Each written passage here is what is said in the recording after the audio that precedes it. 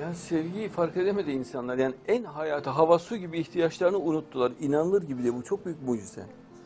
Ya en çok mutlu olacaklar, onları en çok güzelleştirecek, bereket, bolluk getirecek, sevinç getirecek, cennetin de sonsuza kadar en büyük güzelliği olan Allah'a imandan kaynaklanan sevgi, Allah'a im, Allah'a iman en büyük nimet odur.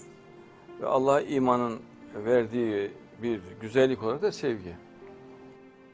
Hayatın kaynağıdır bu ya. Hayatın sebebidir. İnanılır gibi değil. Sevgi ortadan kaldırdılar. Nefret yarışı başladı dünyada. Bu çok büyük bir mucize.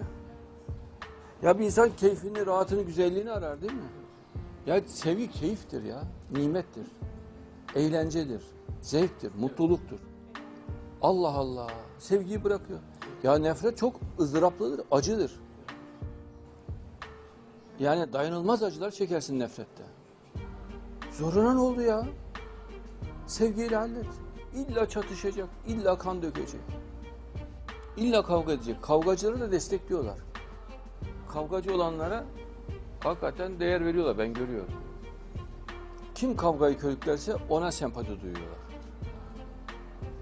Kim kan dökülmesini teşvik ediyorsa ona muhabbet duyuyorlar. Onu değerli görüyorlar. Bu da şeytanın teşvikiyle oluyor. Sevgi insanları dünyanın her tarafında var. Ciddi bir güçler ama bir araya gelmediler daha. Allah o vakti bize doğru sürekli yaklaştırıyor. Aslında sevgili insanlar, dünyaya hakim olanlar onlardır. Ama dağınıklar. Dağınık oldukları için de güçleri az oluyor.